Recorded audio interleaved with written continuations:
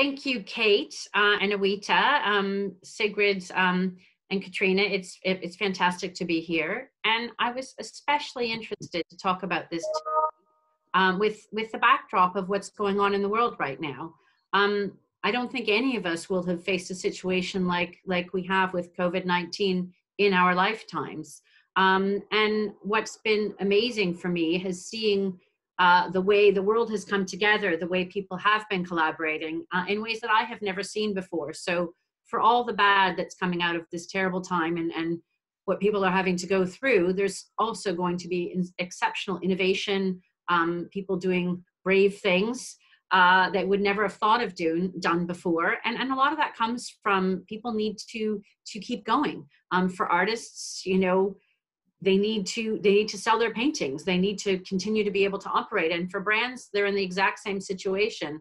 And so with that backdrop today um, I, I, thought i would talk you through some of our main principles we use as an agency. But particularly i wanted to touch on the fact that now is an incredibly different time in looking at collaborations. And, and why it's especially resonant is because um, people are looking for connection right now. You know, now is the time for brands and people to show who they really are, um, and for people to have a voice, but to be able to be part of the good that that that um, can come out of this. And and and art obviously is a good thing. It inspires, it uplifts. You know, so I think with that backdrop, I think that we're in a territory where a lot of exceptional things can be created and a lot of things that perhaps wouldn't have happened before. You know for artists now is the time to be thinking of doing and arts organizations thinking of doing these sorts of things. Um, and and you know kate touched a little bit on, on what we do. Our collaborations have been from day one something that we were uh, have been incredibly passionate about. Some of the work we do is is with brands themselves. Some of the work is for um, high net worth individuals who want to do legacy programs. Um, you know and and the world has changed a lot. When we're talking about say a department store we've done a lot of work with various different department stores. You know people aren't selling um, things necessarily they're they're selling experiences. They're trying to inspire. They're trying to entertain. So art has you know like no other art has the ability to to inspire to entertain but it also also in lots of respects to educate. You know some of the work we've done with people like selfridges with project ocean art was the single um, most important thing we did in terms of um, you know creating behavior change nudging people to see what the world could look like um, if we didn't make some action take some action about how we how we treated the ocean in the world. And a lot of that was seeing things through the journal uh, through a, an artist's lens um, was what made people stand up and listen and empathize and and and, and hear what we were saying. Um, so as a starting point for that now i'm sure a lot of you have collaborated in some way before already and, and probably successfully. What I thought would be really useful today in these times is to really talk about some of the guiding principles we use as an agency when we're looking to collaborate. And like anything, um, go, doing things well means that you plan them well. Um, you're very clear on what the expectations are. You do your homework. You know, you set it up well. But I'm, going to go through some of our principles uh, and and and what's worked for us, and and particularly, and this is sort of the nitty gritty bit, but often the detail is where things fall down. So i'm also going to go through some of the some of the tips on things that have worked for us um, potentially things that have not worked so well for us but where you should you know where, where you where you might be able to take some learnings into your own activity. Um, and in terms i think most of you today are mostly um, artists and with arts arts organizations so i'm i'm particularly going to shift to that angle. Um, and we can ask some questions at the end. Um, and and I think the first the, the, first the first piece I would I would say really on this, and I'm not trying not to read on this, but um, is is really about mutuality. You know, that's always a starting point for us, and and and this is really about um, anything you could create in terms of a collaboration should have a generosity of spirit. You know, that's what makes it sing. That that's what makes it great. Um, and and that mutuality comes from is there mutual benefit to the relationship you know if a brand is trying to do a collaboration then they should be thinking about how can i collaborate in a way that takes me into a new into a new space opens up new dialogues and conversations for me and and and it is another way for people to experience and, and, and see my brand. Um, and from the artist's perspective or the arts organization's perspective um, they probably are looking at it through a different lens but through that lens can be how can i go to a wider audience? How can i have more access um, how could I um, speak to people in a different way? How can i use this this um, this collaboration to give me time and space and funding and a platform to share my work in a different way um, and to try something that i haven't tried before? Um, so that is the starting point really about mutuality. And mutuality is also about reciprocity and about um, it should be something that equally benefits each other. You know, artists should be paid for the work um, if they're collaborating or arts organizations.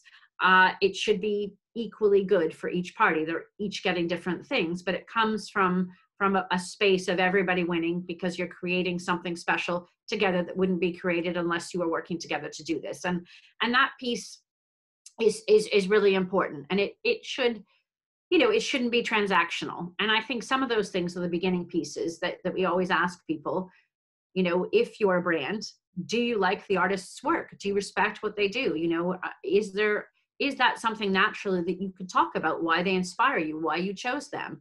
Um, and that answers some good questions for you about making sure that it's not too too transactional in terms of or bringing this person in because they happen to be hot right now.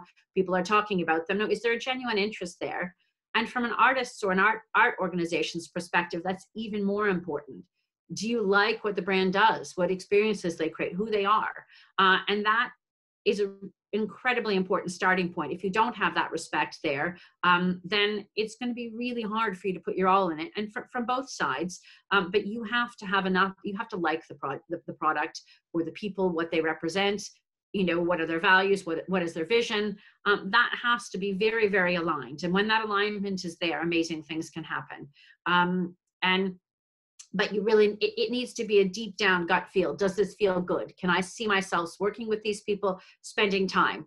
Um, the next piece which is a really really important piece and this is kind of the boring piece but we spend a lot of time on it and i think that's why our collaborations have been successful. And and i'm coming particularly with the strategic comms hat on here, but due diligence, doing your homework. You know, for brands, when we do create an idea where we want to collaborate or an idea of collaborating with somebody, we usually start with a vision or something we're trying to achieve.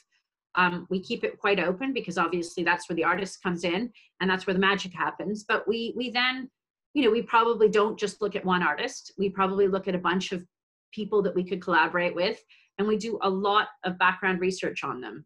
We look at what their footprint is, and that's usually digital footprint. That helps you as artists, one, to sell your work, but it also helps you in terms of if you want to collaborate with people. In this day and age, we want to know that you've got a reach. Um, we would do quite a deep analysis of, you know, who are your communities that support you, uh, what are you interested in, uh, what do you stand for. If we were to work with you, you know, which audiences could you help us reach? Uh, but then we look at that whole piece and that footprint, but then we also look, we do a very detailed press and background search uh, to see what the, what the artist stands for, what they represent. And, and this sounds, you know, maybe a little bit over the top. What's really important about it is knowing that we are probably going to have to promote um, this collaboration in some way. So it means we will do interviews. It means we maybe do, do television. It means we need to know what else they've done and and and how do they work with the press? You know do they take do they give good interviews? Have you seen you know great tv coverage of them? Have you seen how they've worked with a brand before? You know are they able to passionately speak about the collaboration? Are they are they do they look like they're they're in it for the right reasons? Do they look passion do they do they look in, engaged? Um is is does it seem like it's really a good fit? All of those things. We also look from a brand's perspective to look have has this person done tons of collaborations? You know, for us, if we see a brand who's done loads and loads of collaborations at, in a short period of time, then that means as a brand, you're not going to get that much cut through probably. Um, you know, we want to know that they can collaborate well, but equally that we're going to get some share of voice. And I would say if we look from the from the artist's perspective, you know, you need to think where where is the brand itself? Is there something going on right now that you don't like that they're doing? Are they trying to collaborate with the arts right now because they have other problems somewhere in in, in their organization. How do they treat people? You know all these things are really important things to be able to look at. And i especially talk about some of the things too about the due diligence because we've done a lot of work with alcohol brands. They are big um, supporters of the arts. You know for us we have to be careful about things like problems with addiction in their past. You know that's something in in, in some instances it hasn't mattered. You know if the people are are you know have have have managed things well but equally it's one of those things if it's an alcohol brand we have to be incredibly careful about that sort of thing too because it might be something that's the first thing that the press brings up at some point. I also think it's really really crucial. One of the big questions people ask me is well how did you choose that artist or that that person to collaborate with? And i would say the number one thing for us has been about trajectory understanding where the brand is in its life cycle and reputation uh, and understanding where the artist or the arts organization is. We love to support talent on the up. You know for us working with somebody who is is is moving up and is engaged and wants to build their profile and grow we find we produce much better collaborative work. They're passionate. They they they give it their all. And and sometimes when people are so high profile they don't put as much into collaborations. It is more a financial arrangement. So um and that's something too that that an artist needs to think about also on the brand's behalf you know where where what am i doing? What, why is it helping them? Why would they want to work with me right now? Um i'm going to move over to to sort of the next piece in terms of how do you make this happen? You know for us the mindset we like to to, to suggest to people is that they take a really long-term approach. It may not be that you're looking to do um, it, it may not be that you're looking to do this forever but it is something that looking at it with a long-term approach always creates better results. You know we we don't like it to be transactional. You may for specific tactical reasons work with an artist on a limited edition piece or a one-off specific project but for artists it's much better in arts organizations to work with somebody. You may start small but it can grow and you have the ability with the platform you're creating to be able to to, to widen that um, and and that that that creates more openness to more creative collaboration and actually to create something co-create something really really interesting. Um, it also gives artists more time and space. You know what we'd hope out of collaborations the funding that goes behind a collaboration allows them to to to not only create something for the brand but also then to to keep themselves going and to support them in in their other endeavors. And and that's and and some of the the benefit equally that you're giving them is also raising their profile by working through you. They're going to reach more people that may may in the end buy their work. Um, so that that's a really important thing thing thing as well. Um, and then the next piece really is how do you collaborate? Uh, and I, what I'd what I'd say there is start with a terrific brief. You know, be really clear what you think you want to achieve out of this, and that piece is is about getting it on paper. You know, when you write a brief, it means you've thought through things, you've thought through what's important to you as a brand, what you hope to achieve. Um, you know, what's the big aim goal what's the big aim goal you know what in the what's the ultimate thing we could get out of this? But you've really thought it through. You've thought about all the considerations and if you'd like us to share a creative brief with you i'm happy to share our template um, if that would be useful just so you can see from your your own sides what sort of things brands are looking at. But but being able to do that brief um, is, is a really good starting point the second piece um, that comes back out of that is once you've done the brief what we say to brands which they find sometimes quite counterintuitive, is set it up really well and then step way back. Be confident and know that you're co creating. You're not telling an artist what to do or how to do it. The benefit is in them, you know, creating something and being able to speak for your brand in a way you never could before. And I cannot tell you how powerful that is. Some of the very best press coverage we have had or campaigns we've done for clients has not been the client themselves, their spokesperson or their founder talking about their brands. It's an artist talking about how they engage, uh, how they engage with the brand, what the brand means to them, and and and what they created for them. And that's incredibly powerful territory. And now is exactly the time when when when that's especially resonant. Um, and I think that piece also goes on to you know setting yourself up for success when you're looking to do that piece um, it's really important that you look at how you're going to measure it and what you need to get out of it each side. And this is the granular piece that sometimes it's a big surprise for artists when they're asked in a collaboration to be available, um, to do press interviews. And, um, you know, sometimes we work with, with um, private family offices or high net worth individuals, and they genuinely want to give to an art cause. They don't want to be named. They don't want to in any way to raise their profile that is very much in, in, in, in the rare exception for the work that we do. You know, that is probably not where you're going to get um, your collaborative collaborative work if, if you're looking for that. So know that it has to be something that works on both sides. And what does that mean? And this is the piece where for both sides, it's really important to be really, really granular about it. You know, so I think the question to ask yourself as an artist is, you know, why would they do it without you you without being able to describe it you know? And that's that's really an important point. So for us what normally people are looking to do is they are normally wanting to announce the announce the partnership. And literally when we work with partnerships we do a timeline. So we talk about when we'd like to and they want to get as much value out of this collaboration as they can they want to be able to announce it they want to be able to um, be with you probably when they're announcing it. They may want to announce it at a key juncture in the art calendar. That's something artists need to think about because you may be announcing something else, another show for galleries or arts institutions. You know, you may have a huge exhibition coming up, and that's something that we have always had to be very respectful of. We're not going to expect to cannibalize press coverage when somebody else has got Frieze coming up or they're about to go to um, you know, to to to set off and do a whole bunch of events with their gallery in Miami, you know, for Frieze You know, so so those so for um so for Art Basel. So those are things that are incredibly important that you're really clear on. But the first piece is how do you want to communicate it? What do you see your plan being? Announcement, then when you unveil the art itself, you know, how do they plan to communicate it? Do they plan to um, um, sorry, I'm seeing a question pop up. Gabrielle. Is that for me? No. It's actually from me. Yes. Hi. Oh, okay. Do you want to do you want to answer the question to ask me the question?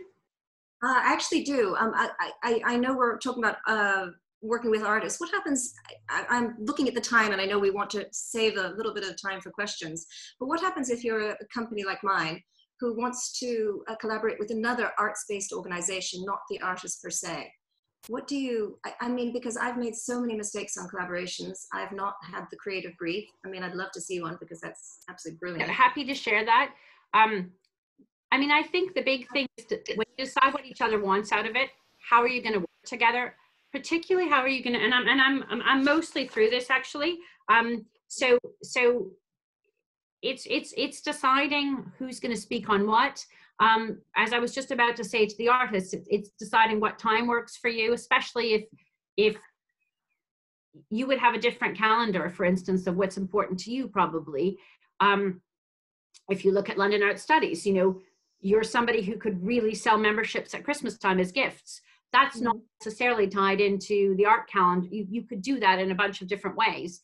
If you look at artists, you know, it really depends where they represent themselves you know how they're working. But being able to be very open about what each other wants out of it um, what you definitely want to be able to do is to um, make sure that you can use yourself you know you can you can have a conversation that would be really compelling to the press. How can they talk about um, what you do has inspired them? How can how can you maybe work with them? Might they do some master classes for you? You know how would that work with content? I, I think it's all really about being very very open about what each other what what each side needs. But from the artist's side be be be understanding that you are probably going to ask be asked for those things. And when you are asked for those things be really granular about it. If somebody wants to to to do pr ask them what channels do you want to do it on? You know is it going to be just press? Do you do i need to turn up for them? How much time is that going to take? We put time in contracts for usually we need three or four half days for a collaboration are you going to have to be present for them? Can some of the work be filmed remotely beforehand? You know, if we give what them about, of, but what about artist rights? What about? Well, as, I was just about to come on to that. I don't think artists should have to give up full, full, full um, rights to their work. What we usually recommend, and it's usually fair and cost effective, is that we license the work for a period of time. I think that's incredibly important for artists because then they won't see a brand using their work 10 years down the line when they may have a very different orientation to to or point of view. Um, and and it's especially important that you think about where might they use this work. You know if they're going to do usually if we're collaborating with an artist we want to do an exhibition we might want to do a book we definitely want to do a lot of content and filming um, and press work and we probably want to have several launch moments and usually we would do them globally in several locations. So we would usually ask people to license things by territory so you know for instance, we would want to use this ex. We did a, a, a big exhibition with Franca Sozzani and Vogue Italia. Actually, we did two big partnerships. And you know, we we licensed it by country. Um, and in one instance, to be honest, we the brand couldn't afford to do it uh, everywhere, so we picked out New York and London, and and and and we then layered on. But usually, you should pick which territories first. That's usually what's most cost effective for the brand. If artists layer on other location, other territories, they usually charge more but what exactly do you get in that? And usually should be a period of time, artwork is licensed, and they should not be able to use the work unless they've paid you. So you have to be very specific in how you set up a payment schedule. So so they will expect to have access to that work and control over how you communicate about it and all of those things would be part of your contract but once that period is over um, and it's really important for artists that they follow this really really important that you get the paperwork right. What is really important to brands is they meet deadlines um, that you're available to communicate. You are able you are able to um, meet the deadlines. You're able to be at a press launch. So that means in advance if you are going to be off on a you know on a project overseas somewhere for months then you need to tell them that. And and i guess that's the other really big cornerstone is making sure communications is really clear you have a, a set point of contact you know who you're working with Sometimes artists want an agent or a gallery to work through the collaborations.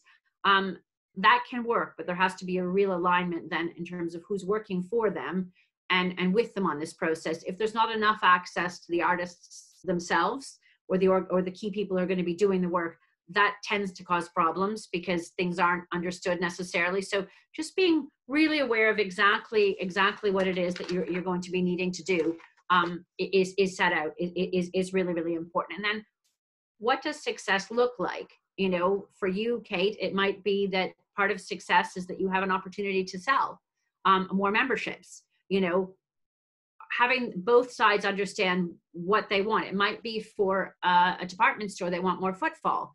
It might be something like Bicester Village. A lot of their art program is is for everybody, but some of it's also for their high net worth guests, where they have very bespoke programming. Just what most do you want to, to the outcome to be and, and usually for brands they want to sell and they want to raise their profile so it's a combination of brand profile which is about being generous as a brand and giving back and you know sharing art with with bigger communities but there's usually behind that a profile building piece and we say in collaborations you're probably not going to you know you can't say oh i'm all of a sudden going to sell more dresses because i have a beautiful art installation in my shop um, but overall, you're raising your brand's image and you're engaging with people. So it's a longer term, and that's why we say you should be looking longer term. But still, there should be some metrics that come out of it. And I think one thing is important too that we have often set up bonus clauses for the artists that we work with. You know, and that means if the business does well, that you get a share in that. And that's quite entrepreneurial and it's not always common practice, but it's worked very well for us they're not very complicated metrics, but they're things if we achieve what we wanted to achieve and, and the, it, the, the program is well received, then, then the, the artist will get something extra. And sometimes we also, as part of that mutuality, we also undertake in the clause to pay for certain things for the artist. So very often we will say we will host your exhibitions if you need us to. We will we will fund them. Um, we may also say um, that we will we will um, fund causes that are important to you. We do a lot of work also with supporting young talent in the fashion world. And again, in those instances, sometimes the, what they need is they need samples made for a collection. Sometimes they need just to be able to, to put on a catwalk show. You know, so all those sorts of things we need to think too about what they need because sometimes some of the basics that they need, if they don't have them, they're not going to be able to continue. So being able to have that dialogue, and that comes out really of having having a having a, a long partnership. Um, so we have another question from Alexandra here, which is, what's been the most successful, perhaps surprising industry or brand that you've done a collaboration with? And are there any industries you haven't worked with which you think would be interesting, especially now? Um, great, great question. Um, I would say, I would say some of the work for Selfridges was incredible. It has been incredibly successful, just in the power to use art to change you know, in terms of um, when we worked with Selfridges on Project Ocean creating that, uh, you know, from the outset, it looked like it would be a nightmare. It was um, we worked with 45 NGOs, and they became our main spokespeople for the project. I mean, you know, we had people from Prince Charles involved, Queen Noor, but then we had um, the head of Greenpeace, you know, which counterintuitively was quite a, a you know a, a, step change for for a fashion retailer to take on. But what I think was was successful about it was the fact that we were very confident. Um, we went from kind of being a platform for others to discuss and, and to educate and raise awareness to actually we created a, a coined a, a, phrase retail activism um, and that was really about using the store and the power of the store and, and the engagement they have with their own audiences to to to foster change and to educate people um, and and to be a platform for that but then to be an active voice in it. Um, so i think that was incredibly exciting because it had many many touch points. We had art installations we had curated exhibitions we had a, a sculpture installation we had um, there was many many layers to it. And then a lot of it was about the science and about but marrying the science with the art um, to show what this drastic future could be if um, change change wasn't made. In terms of asking answering your question about um, uh, uh, sectors that we haven't worked with before, I mean, you know, we're all thinking about the healthcare systems right now, the NHS, um, science. Uh, those are those are areas that would be incredibly interesting for us to look at, and I think I think there are real opportunities now for people to think about how to make the world feel better in a time like this. Uh, mental health is is is an enormously important issue right now. So, are there things that that where where you might be able to create voices um, for people, for communities, um, to to to inspire, but also to to help people get help they need? You know, so I would say that space there is a particularly interesting one. But I also think there's a theme right now of everybody's suffering. You know, businesses are going to go out of business. Artists need to keep their studios open and keep working, and we have to be able to work together. And if people can collaborate to help each other, um, I mean, there's just extraordinary stuff happening right now. You know, whether it's people retooling in their factories or you know, and it, and it has to be genuine. I would say collaborations shouldn't be skin surface deep they should be about doing something good in the end. Um, but but those those those would be things that I would think about right now. Um, how to be part of people feeling positive, having a voice in this in this in this really unknown time. Um, and we've got another question from Ampierre, which is asking, um, do you proactively research and reach out to clients, or do they come to you? Um, we're really we're really lucky, I have to say, that we get a lot of our work comes to us directly because people have seen the work. They might come through journalists. Um, a lot of our clients are serial clients. We still work with our first clients from when I started the business. We a lot of them we've worked with four or five times because they create new businesses or sometimes groups of investors who are behind brands. Um, but a lot of the time we get calls from somebody who saw an article said I could see my brand being described in this way. Um, we we um, have an accelerator program which we do get people approaching us for a lot where we work with female founded brands, um, sustainable brands. Um, so that's an interesting way. But, you know, we also have a wish list of people we'd love to work with, people that inspire us. And I think for anybody working with people that inspire you, people you feel you can work well with, um, you know, it's important to go after those sorts of people and to, you know, if you could work with anybody, how do you spend your time? How do you use your time? Why not work with people that inspire you that that that that you think do great things? Gabrielle, I think that might be a lovely note to leave it on. Am I unmuted, Katrina Fox? Yeah. I'm unmuted, good. I was going to say thank you. I think you've certainly inspired us all today. Um, and I think the takeaway perhaps is also that the sky's the limit right now in terms of collaboration. So do reach out.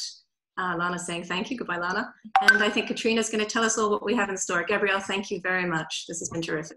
Thank you for having me. It was a great uh, to be here today.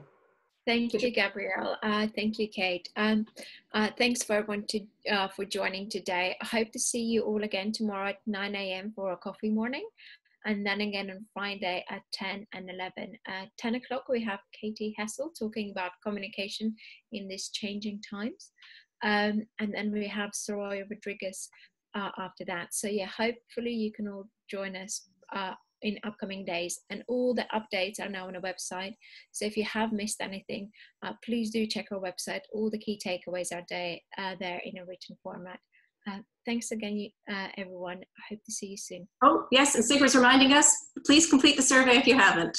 Yes, Thank you. Uh, that's Thank finishing on Friday. Thank Take you, care. everyone. Again, thank you, thank you. Thank you, everyone. Bye. Thanks.